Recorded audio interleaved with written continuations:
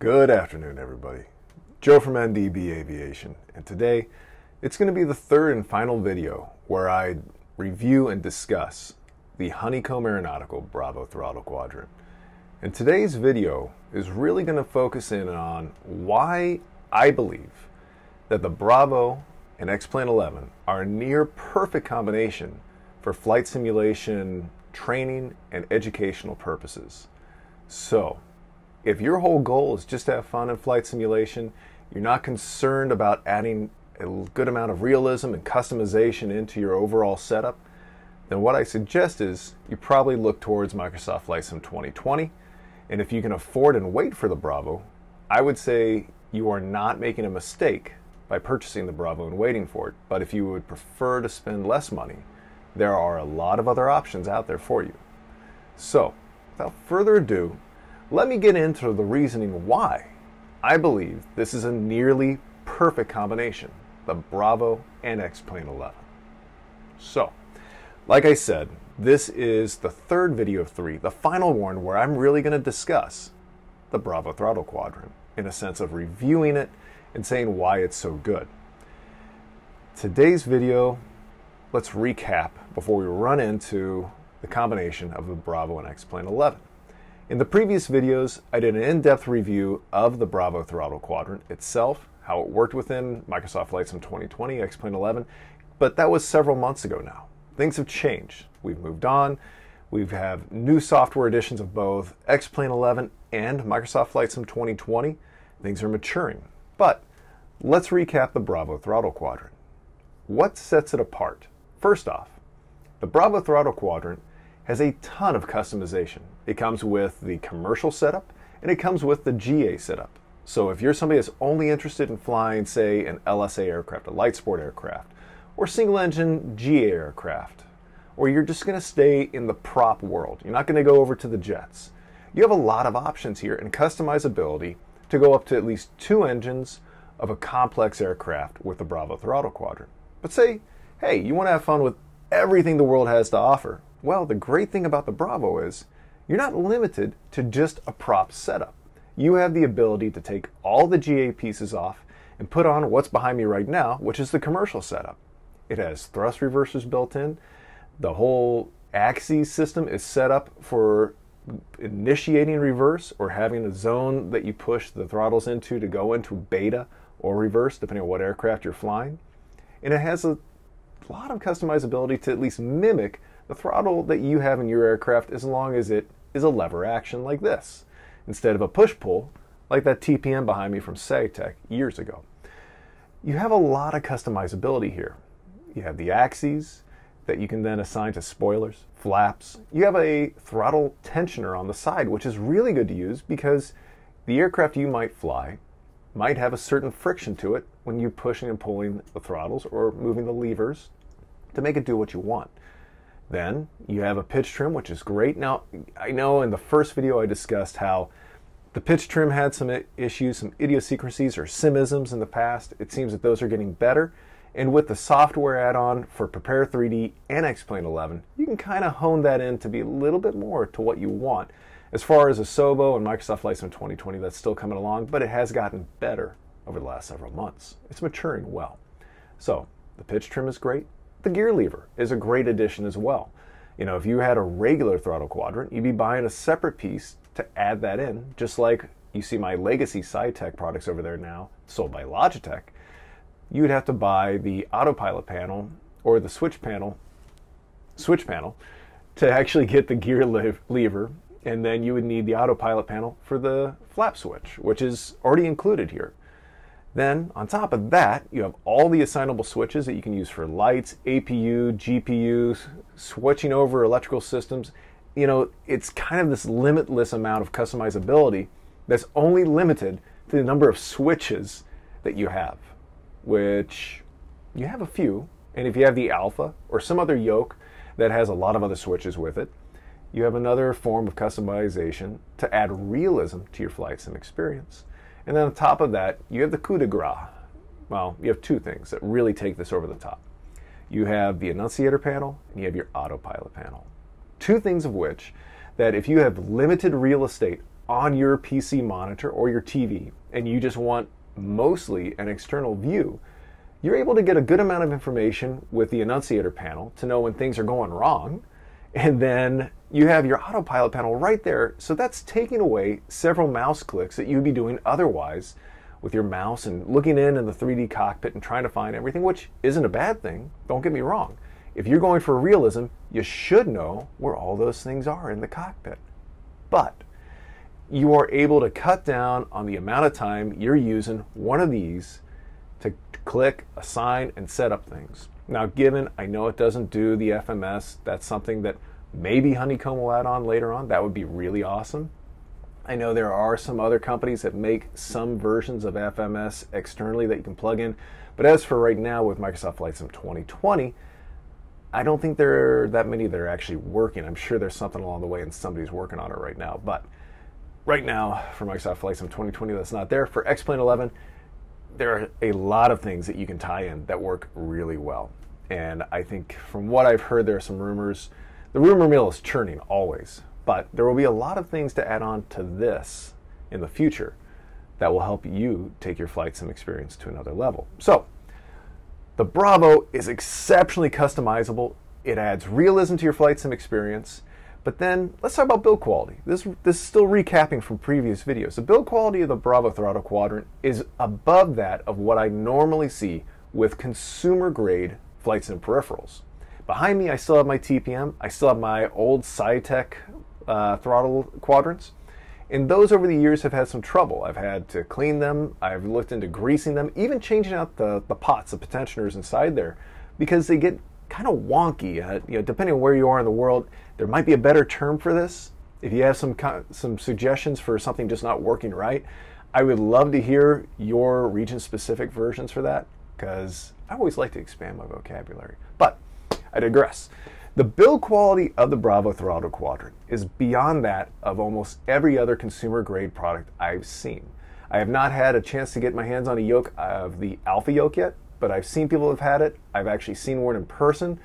Have I been able to use it myself yet? No, so I don't know the build quality there, but if it's anything like this, this meets pretty much everything I would expect to see for something going into a BATD or an AATD. And those are certified flight simulators that you can log training time in and currency in once you are a certified pilot. And from what I've heard and some pictures I've seen, that's most likely going to be FAA certified to be used within, or at least it will have the stamp of approval from the FAA to be used as part of a BATD and an AATD, which is no slim feat. It means it's a quality enough product to be used for certified flight simulation and training. So, you are not wasting your money by buying one of these, and you're definitely not wasting your time waiting for it because it's going to be a quality product that you're going to have for years to come, especially as the software gets better and better on the Microsoft Flight Sim 2020 side and X-Plane 11, especially with what comes next add-in software. So, behind the camera, I've got my screen up. And right now we have software to make the lights work in Microsoft Flight Sim 2020. There's also one for FSX, the old flight sim for Microsoft. Then there's X-Plane 11, both Windows and Mac, which is huge, which is another reason why I like X-Plane 11. You cover both ends of the computer spectrum, PC and Mac. I'm not going to say which one you should buy. That's up to you, the user. But you also have software for Prepare 3D version 5, 4, and 3, which covers a huge spectrum of that flight simulator, which is also another great flight simulator. However, I just don't have the time to review it. And I'm sorry, guys, that are huge Prepare 3D fans, but that's where this still stands. So you have all this software to then fine tune the annunciator panel, the axes, the switches, the autopilot functions. All these things come together to allow you to add realism to your flight sim experience, which is if you're buying this, at least in my my neck of the woods, you know, I fly for a regional airline. I'm a flight instructor. I look at this as the training potential of saving you money in the long run to not spend so much time with your flight instructor and also to knock off the cobwebs if you are already a certified pilot, IFR certified, or all the way up to professional pilot flying, or maybe you're out due to, say, the pandemic or a medical issue, or you're taking time off to be with family and work another job until you can come back to the airlines, whatever it might be, you have now a product that can tie in so many features into a smaller footprint to allow you to then really work away in X-Plane 11 or Prepare 3D and practice procedures, practice arrivals going from point A to point B. And if you want to, you can throw in failures of systems. And within X-Plane 11, those systems are pretty well modeled where Microsoft Flight Sim 2020 is still kind of playing catch up. It's, it's moving down the line and eventually it will be there. And with the mods from the community, it's getting better every day, which is great. I love that. But it's still not there yet. So, with all those things I just recapped from the previous videos, the Bravo holds a great amount of value where you're not throwing your money away here because it's going to be something you're going to keep for years to come. If you're a flight student that's starting from zero time, you are going from zero to hero, or you're just a serious simmer, you have something that will allow you to jump into almost any cockpit of any aircraft ever made, albeit it probably needs to be two engines, propeller max, or four engines, jet max. Uh, I expect, I, I haven't really picked the brain of the folks that I know over at Honeycomb yet to see if there are going to be some additional pieces that you can put on top to maybe go up to a six engine aircraft or more. Like I'm thinking B 52, you know, that, that's, that's going to be more than that can really handle. So if you're flying something like a B 52, the good old buff, or maybe say you're flying a good old Herc or some other aircraft that has four engines or more and has multiple controls for all those engines, you're still going to need to look at something like the old Logitech throttle quadrants. And you could actually tie those in together and kind of daisy chain those. So you could take two of those, one of these, and you could fly those big old aircraft. It's just the throttles are going to not match up perfectly. So it's really up to you what you really want to do there. But the value of the Bravo throttle quadrant far exceeds anything else on the market because if you look over there, you can kind of see just slightly out of frame. I got the old Saitek Cessna yoke. I've got my switch panel, the instrument panel, and the autopilot panel. All those together are more than the Bravo throttle quadrant. And even if you can get them, and I know it's hard to get the Bravo, if you can get all those, it's still adding up to be more than what you really want to pay. So, the Bravo holds a great amount of value. So you are, I know it's it's $250, depending on where you are in the world, it might be more due to taxes and currency exchange rates and all that. But the Bravo is going to be your best bet moving forward for serious simulation or flight training purposes, whatever it might be, from zero time to somebody that's just trying to keep current mentally. It is your best value to go to for anything out there. So we've recapped the Bravo why I've done now three videos over it. So let's step into why does the Bravo and X-Plane come together to make a nearly perfect simulation experience? Well, Gleim thinks so. Uh, let's see. I think there are several other manufacturers of uh, BATDs and AATs that think that X-Plane 11, X-Plane 10 were by far some of the best flight simulation software suites to set up a certified simulator in. But then you throw the value of this, the customizability of the build quality of the Bravo, and together you have something that now you can do what I referred to earlier. You can do procedures. You can do a SID, a star. You can do so many things in between. You can even set up a second panel with X-Plane 11, and you can set up everywhere you want to be on a map, anywhere in the world, whether it's on an ILS, somewhere on the arrival, anywhere else. And then you can set up all your failures that you want to work through and then practice all those things with a good amount of fidelity that Microsoft Flight Sim 2020 is lacking. And from what I remember, you can do that. You can do that with Prepare 3D. It's just been a long time since I've done it. So, well, almost a decade since I've done training with Prepare 3D. X-Plane 11, I've done personal training myself with X-Plane 11 the last several months.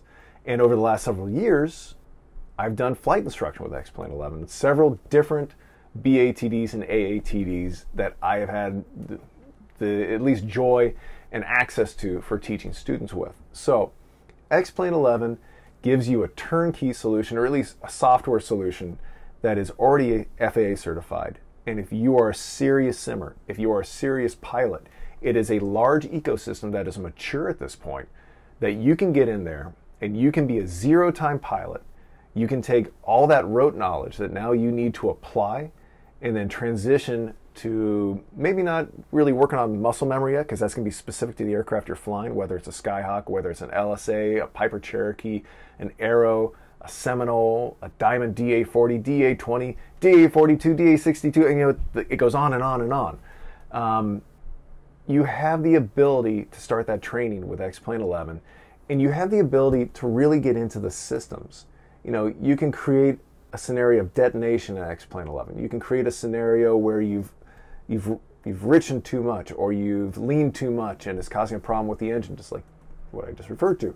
Or you can work with the prop, the manifold pressure. You can create problems that create stresses in the air, in the actual engine. You can work with the avionics suites. Then you can expect them to do what they were designed to do in real life. So X-Plane 11 gives you a really good ability to do all that training that you were expecting to do and you know achieve a goal. That with the Bravo throttle quadrant gives you the best combination right now to actually perform all those tasks. So let that sink in while I take a sip of coffee here. The Bravo and X-Plane 11 are your best bet moving forward to enjoy serious simulation and train. And I'm not going to say that Microsoft Flight Sim 2020 isn't going to be there, because in time it will. Microsoft Flight Sim 2020 will catch up. It's starting to already.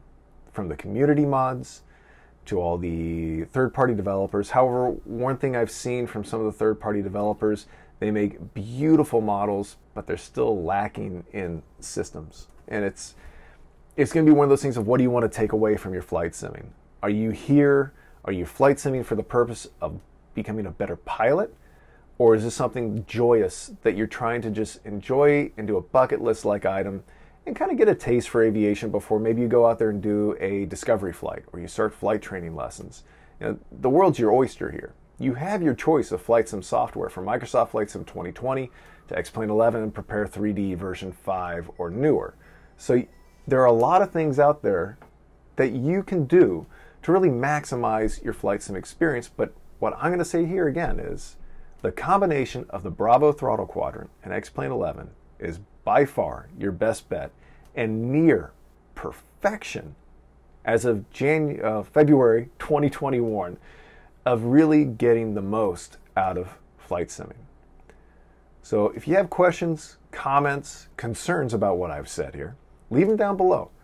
My goal is not to be a viral video maker. My goal is to help people get to where they want to be in their aviation training, whether it's zero time, whether you're already a pilot, or say you're stepping away from aviation, you're coming back to aviation, or say it's now time for your retirement. You're done, you've been flying the big jets for years. Thank you for your service flying. You know, I'd love to hear some stories sometime. I hope to make my stories sometime. You know, I'm still at the regional, working my way up. But I want to make sure I'm helping people find their way to maximize their time, their money, and their joy in aviation and flight simulation training. And if you're just in this for the fun of it, you don't care about learning anything about aviation, I still want to help you too. I want you to have a quality product and quality time with your simulator that you know, you might just be having fun, but at the same time, you're going to learn something. So, Joe from NDB Aviation, thank you for your time. Thank you for your patience watching my videos. And like I've said before, if you can wait for the Bravo, if you can afford the Bravo throttle quadrant, it's your best bet. Thanks, everyone. Take care. See you again real soon. Bye bye.